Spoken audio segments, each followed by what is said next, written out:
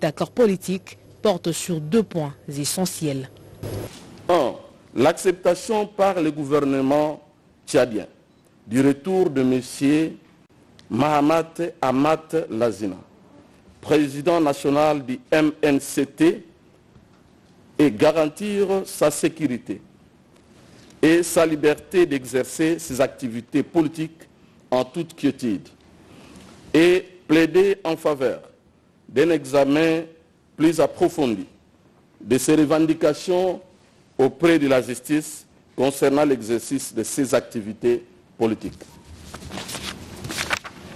Deux, l'engagement de M. Mohamed Amat Lazina, président national du MNCT, à n'entreprendre aucune activité politique dans le but de troubler l'ordre public et la paix sociale et de respecter les lois et règles en vigueur au Tchad. En exil depuis plus d'une année, l'opposant Mahamat Lazina a salué le leadership éclairé du président Félix Tshisekedi et l'ouverture d'esprit du président Mahamat Idriss Déby. J'aimerais tout d'abord euh, remercier très sincèrement son Excellence euh, Félix Antoine Tshisekedi Cholombo, président de la République démocratique du Congo, par ailleurs facilitateur au processus de transition, de transition de notre pays. Ces compromis politiques nous permettra de rentrer au pays dès cet instant. Et vous savez très bien, c'est plus d'une année que nous, sommes, euh, que nous avons quitté le pays. Alors cet accord nous permettra de rentrer dès cet instant avec tous les cadres du parti. Ça c'est très important pour nous et en même temps assure aussi notre sécurité une fois euh, au Tchad. Dans les heures qui suivent, Mahamat Lazina va retrouver son pays et participer activement au processus de transition de son pays. Le président de la République a également rendu public le choix de son informateur. Augustin Kabouya, secrétaire général de l'UDPS, doit identifier une coalition majoritaire à l'Assemblée nationale peu avant la publication de ce communiqué de la présidence. Ce dernier a été reçu en audience à la Cité de l'Union africaine par le chef de l'État, Félix Antoine Tshisekedi Chilombo. L'attente n'aura pas été de longue durée. Moins de 20 jours après son investiture, le président de la République réélu vient de confier à M.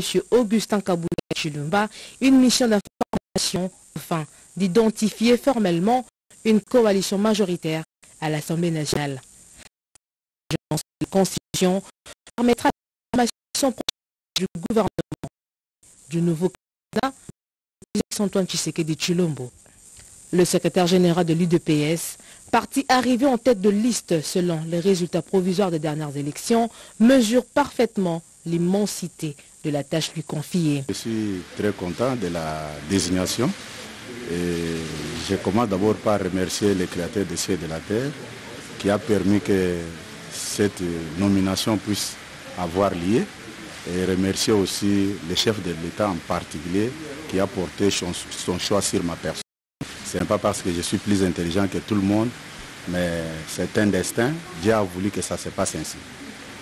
Je dois vous dire sincèrement que, politiquement parlant, euh, je suis l'informateur naturel du chef de l'État, comme je suis le responsable numéro un de sa famille politique. J'étais obligé de faire ce travail même avant ma nomination comme informateur. Cette mission marque la volonté du chef de l'État de mettre en place dans un délai raisonnable un gouvernement capable d'accompagner sa vision déclinée dans son discours d'investiture. Vision qui priorise la préservation de l'intégrité territoriale du pays et l'amélioration de la vie sociale du peuple. Augustin Kabouya devra présenter son rapport dans 30 jours, une durée renouvelable, une seule fois. Nous l'avions annoncé dans le sommaire du journal, le calme règne à Saké. Nous sommes au nord Kivu. La population va paisiblement à ses occupations. Seulement, elle sollicite de l'armée d'en finir avec le M23 une fois pour toutes. Les activités sociales ont repris dans la cité de Saké après panique de l'avant-midi, car les FRDC appuyés par les volontaires pour la défense de la patrie, Ouazalendo, ont stoppé net l'avancée du M23 RDF sur les collines de Malé, Israël et Katabiro, à plus ou moins 7 km de Saké. Les habitants de la contrée restent rassurés par la puissance de feu des FARDC déterminés à en découdre avec l'ennemi malgré qu'une partie de la population s'est réfugiée aux alentours de Goma. Sie hatuweziweza kukimbia na tuache mwingine, hapa ni kwetu na tutakufia hapa ni kwetu. Jeunesse iko mobilize sana na kuakompanye FRDC jeunesse iko mobilize sana kuakompanye wazalendo kuwapatia usi nguvu purke waweze kupigania mamilima yetu na mwingini yetu. Niko Sake, niko naulisha bungu. Niko Sake naikala, tuko natafuta hivi vyakula tuoneka tutahipata. Hapa tuko Sake na tuko tunauisha msambaza hapa, lakini tuko tunauisha lakini kama tutapata makuza juu ukimbizi mnatutesa. Oh, ile mfua ya kusema seme basoda washakimbia ni bongo, basoda wako gisi mko mnaona hata nyuma yangu kama wanapashwa kuwa wako wanaonekana me basoda wako vile gisi kuna kwa expression ya kusema soda ni watu na sie population tujikaze, tusutenire basoda yetu tusiwachilie. Le porte-parole civil du gouverneur militaire ad intérim du Nord Kivu, le général-major Peter Chirimwami, a rassuré la population. La cité de Saké, la population est là, vous avez vu, les forces de la République sont là, en train de protéger la cité, et les hostilités sont en train de se passer à quelques kilomètres de Saké, mais Saké n'est pas prise ni par le M23, et donc son Excellence, Monsieur le Gouverneur, le général Peter Chirimwami, tient à dire à sa population et à toutes les forces d'être apaisées, d'être rassurées, d'être calmes et de savoir que les forces armées de la République sont en train de tout mettre en œuvre afin que nous puissions protéger la cité de Saké, la ville de Goma ainsi que toutes les autres entités de la, de la province du Nord Kivu. Jusque tard dans la soirée de ce 7 février, l'armée régulière pilonnait les positions des rebelles dans les collines avoisinant Saké. Session inaugurale à l'Assemblée provinciale de l'Équateur. Comme l'exige la loi après une élection provinciale, le bureau d'âge a été mis en place. Ouverture solennelle ce mardi 6 février 2024 à l'hémicycle de l'Assemblée provinciale de l'Équateur de la session inaugurale pour la troisième législature. La cérémonie de ce mardi, très riche en couleurs, s'est tenue dans l'hémicycle à un moment où celui-ci était en train de revêtir sa plus belle robe, avec notamment des coups de pinceau pour repeindre les murs et l'installation de divers autres dispositifs de sonorisation et de climatisation. Initiative salvatrice du ministre d'État Maître Guy Luandomboyo et son parti AREP, représenté par l'honorable Bibi Ndoa, qui ne jure que par des innovations apportées dans plusieurs domaines de la vie à l'Équateur. À l'issue de la cérémonie, Madame Thérèse Pembeiromi de la circonscription électorale de Bikoro ainsi que l'honorable Bibi Ndoa s'expriment. Notre président, le président Félix Antoine Tshisekedi, il a dit cette fois-ci nous voulons que les femmes soient sur terrain pour qu'il y ait la bonne marche, qu'il le développement de notre province. Ce qui m'a motivé pour verser dans la politique active, j'ai des raisons. Primo, pour défendre l'intérêt de la femme et de la jeunesse. Segundo, améliorer la bonne gouvernance dans les institutions de l'État. La maternité gratuite initiée par le chef de l'État Félix Antoine Tshisekedi Chilombo dans son vaste programme de couverture santé universelle est désormais une réalité au Kassai oriental. Le go de ce projet a été donné par le gouverneur intérimaire de province Julie Kalenga Kabongo à l'hôpital du gouvernement provincial de Mbujimaï. C'est un reportage de la RTNC Mbujimaï. Lancement officiel mardi 6 février au Kassai oriental de la maternité gratuite. La cérémonie a été présidée à l'hôpital du gouvernement provincial par la gouverneure de province intérimaire Julie Kabongo en présence des différentes autorités provinciales. Cette initiative présidentielle s'inscrit dans la mise en œuvre de la couverture santé universelle qui prévoit la prise en charge gratuite des accouchés et des nouveaux-nés. Elle lutte contre la mortalité maternelle et néonatale. Le chef de division provinciale de la santé, Bonheur Chitekou, donne ici les objectifs de ce programme présidentiel. Et de garantir des soins et des services de santé de qualité et gratuits à toutes les femmes enceintes, à celles qui ont accouché et aux nouveau-nés pendant leur premiers mois.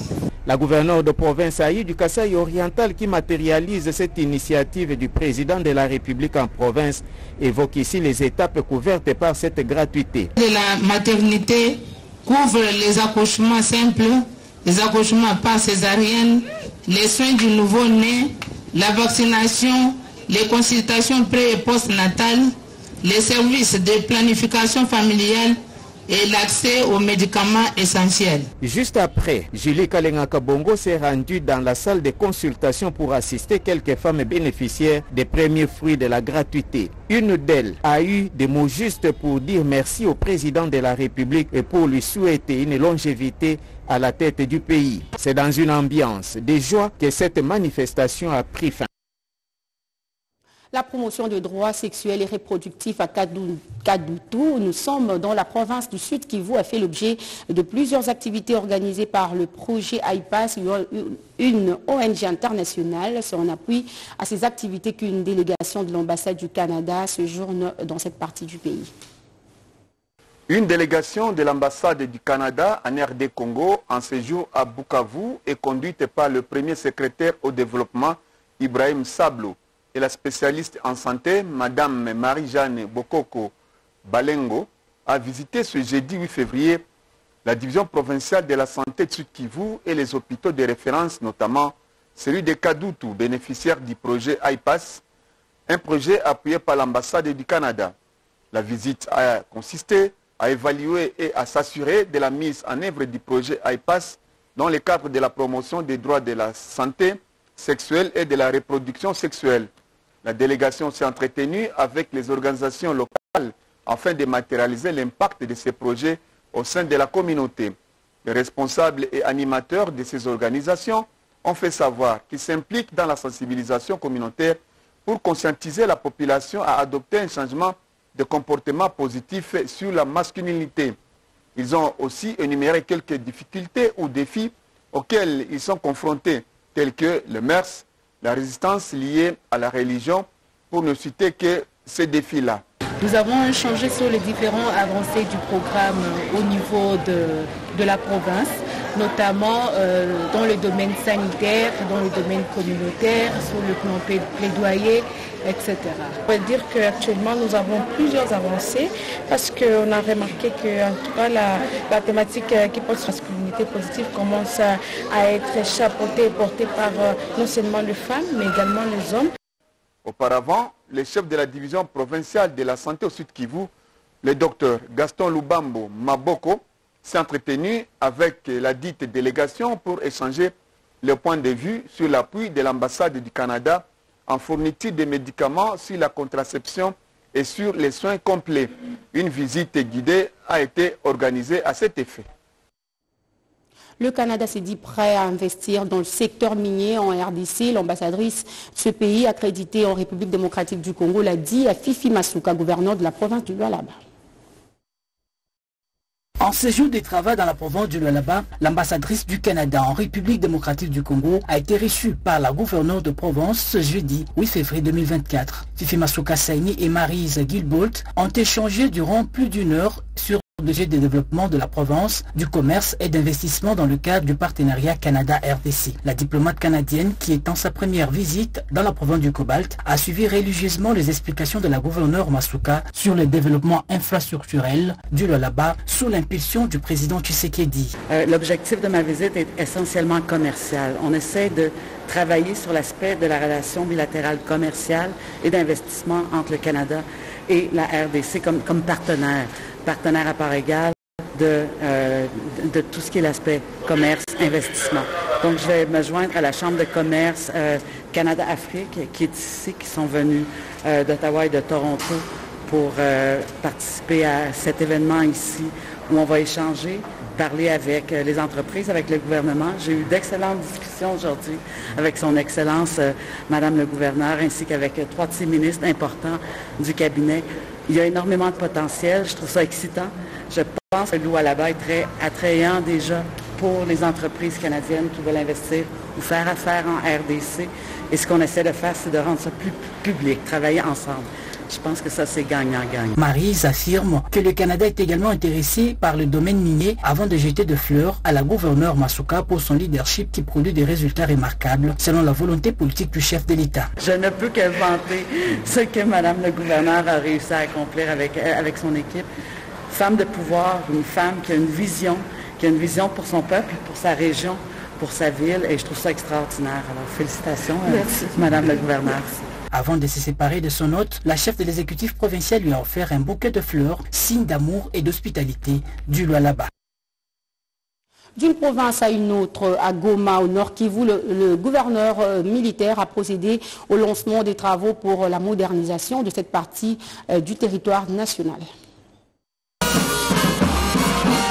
Construction et modernisation des routes de Goma, c'est jeudi 8 février 2024, le gouverneur militaire ad intérim du Nord Kivu, le général-major Peter Chirimwaminkuba a procédé au lancement officiel des travaux d'aménagement en pavé de pierres volcaniques taillées sur les avenues Baraka, Walikale, Chopo, rue Docteur Maganga et leurs amorces.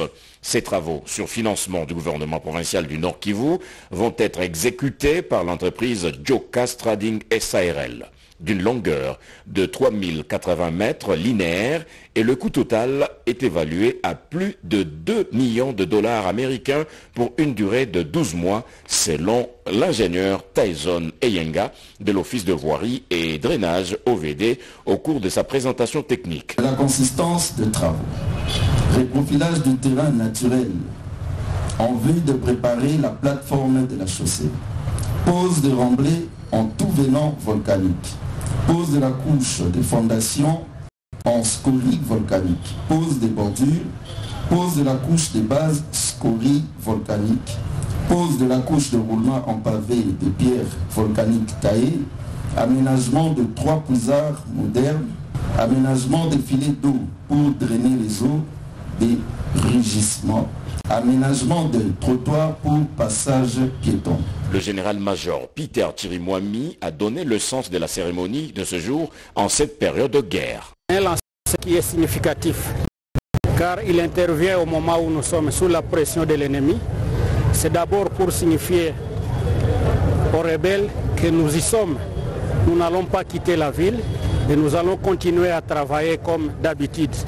C'est pour aussi rassurer la population qu'elle doit avoir confiance à son armée parce que le chef de l'État a mis tout en œuvre pour que la ville de Goma soit sécurisée et ses environs et pourquoi pas bientôt le retour des déplacés dans leur milieu d'origine. Et en plus, on doit avancer dans la vision du chef de l'État qui est la modernisation de la ville et des territoires comme il a promis pendant la campagne électorale. Il s'y est de signaler que les travaux de modernisation des routes sont effectués à Goma, Beni, Butembo et bientôt dans les six territoires que compte le Nord Kivu, car l'état de siège rime avec le développement, a martelé Peter Chirimwaminkuba. Rappelons que ces travaux ont un préfinancement de l'entreprise Jokas Trading dans le cadre du partenariat public-privé. Inondation à Bandaka, le gouvernement de la République vient de remettre une assistance humanitaire à 800 ménages. C'est à travers la Caisse de solidarité nationale et de gestion humanitaire de catastrophes représentée par son directeur général Raymond Bongolé. La situation précaire des sinistrés des inondations de Mbandaka préoccupe au plus haut point le gouvernement de la République qui vient de dépêcher Raymond Bongolé, directeur général de la Caisse de solidarité nationale et gestion humanitaire des catastrophes à Mbandaka afin de remettre l'assistance humanitaire du gouvernement aux concernés. Le président de la République, chef de l'État, son Excellence Félix Antoine Tshisekedi Chilombo, avait instruit le gouvernement de la République dirigé par son excellent Jean-Michel Samalou Condé à travers le ministère des Affaires sociales, Action humanitaire et solidarité nationale d'organiser une réponse humanitaire d'urgence en faveur des victimes des inondations dans les villes de Mbandaka et de Kinshasa et des glissements de terrain dans la ville de Kananga. Nous, aujourd'hui à Mbandaka, nous sommes arrivés pour assister un premier lot, j'insiste, un premier lot de 800 ménages les plus vulnérables, victimes des inondations qui ont secoué le pays. Vient ensuite la remise officielle de la dite assistance humanitaire à 800 ménages. Assistance faite d'une importante quantité de vivres et non-vivres en présence du gouverneur de province Bobo Boloko, du comité provincial de sécurité et de la société civile à la grande satisfaction des bénéficiaires.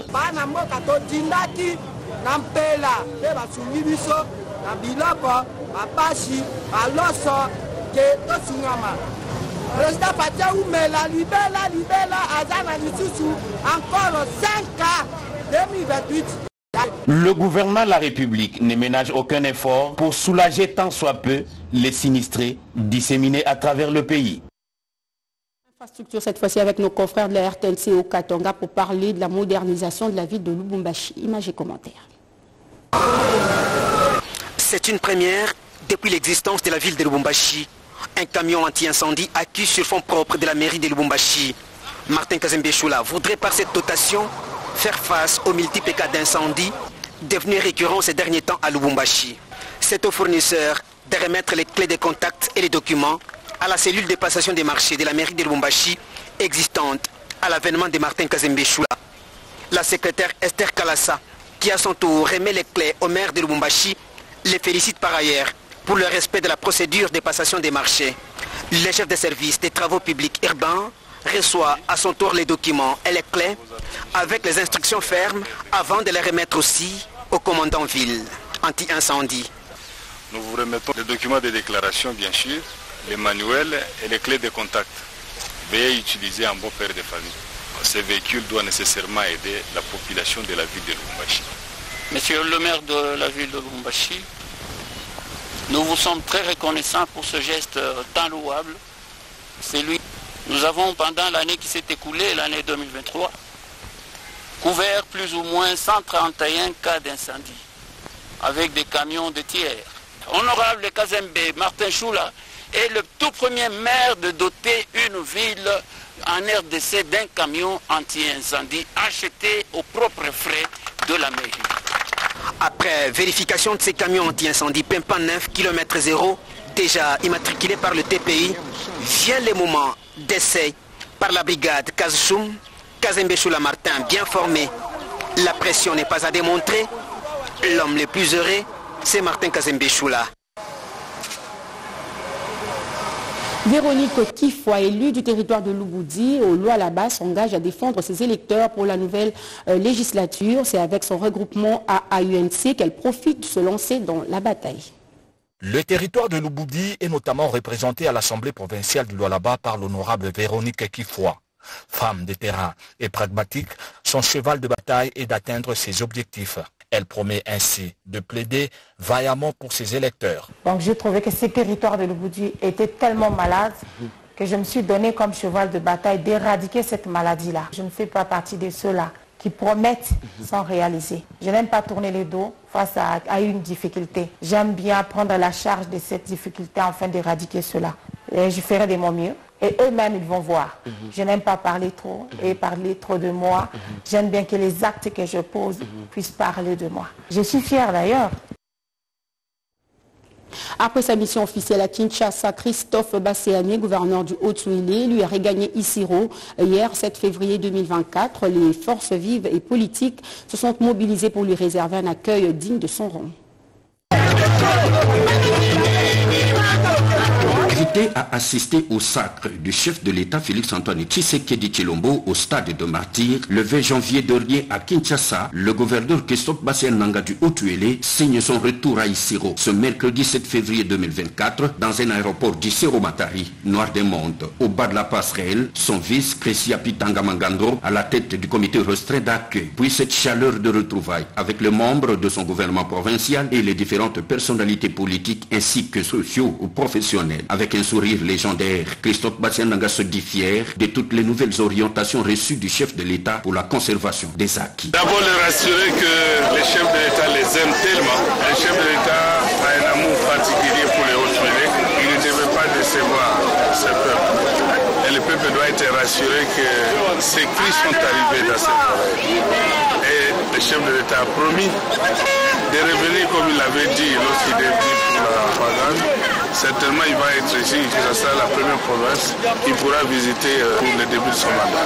Je suis rentré avec des consignes claires de pouvoir continuer le travail, surtout l'asphaltage. Il faut que ça continue, il faut que ça se voie.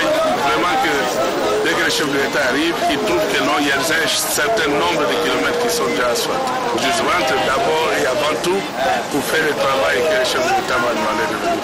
Comme à l'aéroport, des foules en liesse se sont massées à l'espace culturel situé au centre-ville d'Issero, où malgré la tombée de la nuit, le désormais fils adoptif Christophe Bassienanga, totalement ancré dans l'idéologie de son idole politique, Félix-Antoine Tshisekedi Chilombo, fait la restitution de sa mission de plus de deux semaines dans la capitale. Il insiste, entre autres, sur le poids et l'influence politique, les directives reçues pour reprendre le travail et consolider les acquis, mais pas seulement le rassonner et pour que les fils et filles du Haut-Tuélé enterrent leur hache de haine et des divisions politiciennes stériles, car ils ont tout à gagner pour l'intérêt de leur province s'ils sont unis, martèle-t-il. Papa Félix, na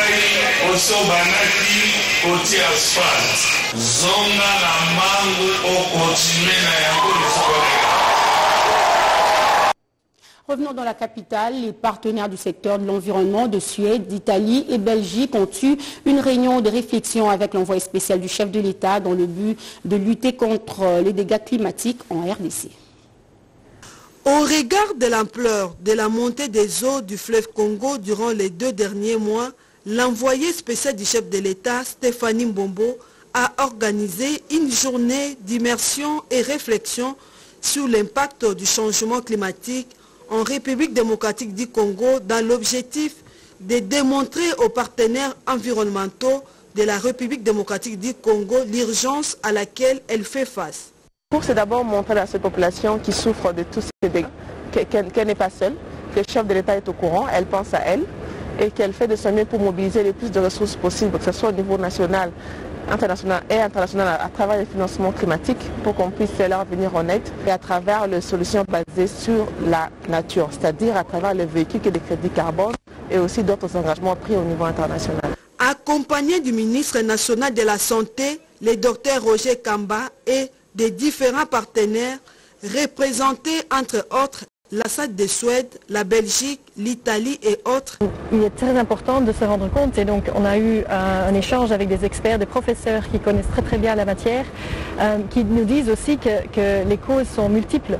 Ce n'est pas seulement le climat, c'est aussi en effet euh, le planning urbanistique qui, qui pourrait causer des, des, des, problèmes. Et ça, c'est quelque chose qu'il faudra regarder ensemble. La Suède est déjà présente euh, en RDC et d'autres partenaires euh, présents. On est aussi présent au niveau international pour, pour les discussions continues sur ces questions de, de changement climatique. Face à ces dégâts climatiques, les ambassadeurs partenaires de la République démocratique du Congo ont pris l'engagement d'accompagner la République dans la recherche de solutions aux problèmes climatiques.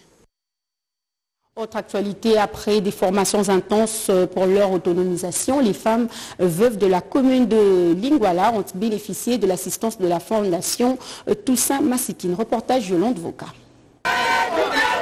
Elles sont classées parmi les personnes vulnérables et leur autonomisation serait ce processus qui ferait d'elles des actrices de développement. Les femmes veuves bénéficient d'une attention particulière au regard de leur statut social. Et la fondation Toussaint Massikini œuvre depuis plusieurs années dans l'encadrement de celles-ci en vue de garantir leur réinsertion sociale par l'apprentissage de métiers. Une démarche qui prend corps d'une manière symbolique dans la commune de Lingwala, où un échantillon représentatif de femmes ont bénéficié d'une vache. Un moment de communion et de reconnaissance pour les bénéficiaires qui voient en ces gestes la volonté de la Fondation Toussaint Massikini d'appuyer les actions sociales au profit de catégories vulnérables de notre société. Cette structure compte aller plus loin en mettant en place des centres de formation professionnelle pour une meilleure prise en charge à travers de filières beaucoup plus pratiques pour répondre à une demande communautaire d'une société appelée à vivre en harmonie avec les femmes, pour la plupart à la tête de familles monoparentales. Et Augustin Kabouya, actuel secrétaire général de l'UDPS, désigné informateur pour dégager la majorité à l'Assemblée nationale, un choix salué par euh, le vice-président euh, de la Ligue des jeunes de l'UDPS et Vision Fatih Rénové. Suivez ce reportage. Je tressaillis joie que le chef continue à fouiner dans le parti, à faire confiance en son parti UDPS et surtout euh, son secrétaire général Augustin Kabouya qui, euh, qui continue euh, chaque jour de bénéficier toujours de la confiance du chef. Récemment, c'était un des membres de l'UDPS qui a, a coordonné la campagne du chef. Aujourd'hui, cette mission euh, de confiance est accordée au secrétaire général Augustin Kabouya. Je suis très heureux. À mon humble avis, je souhaite fructueuse mission au secrétaire général de l'UDPS qui bénéficie de la confiance du chef de l'État euh, je souhaiterais aussi que les conclusions de cette mission soient satisfaisantes aux attentes effectivement du président de la République qui tient à avoir euh, un second mandat radié pour le grand bonheur des populations congolaises. Nous avons apprécié le choix du chef de l'État. Il a vu juste en faisant le choix d'Augustin Kabouya. Au secrétaire général, je lui demanderai de continuer à mériter la confiance que nous plaçons en lui. Surtout, de ne pas décevoir le chef de l'État. Faites du bon boulot. Et nous disons aussi merci au président de la République pour cette marque de confiance. Nous sommes sûrs et certains que la configuration formelle de la majorité va se dégager au sein de l'Assemblée nationale et que l'UDPS sera le fer des lances de la dite majorité.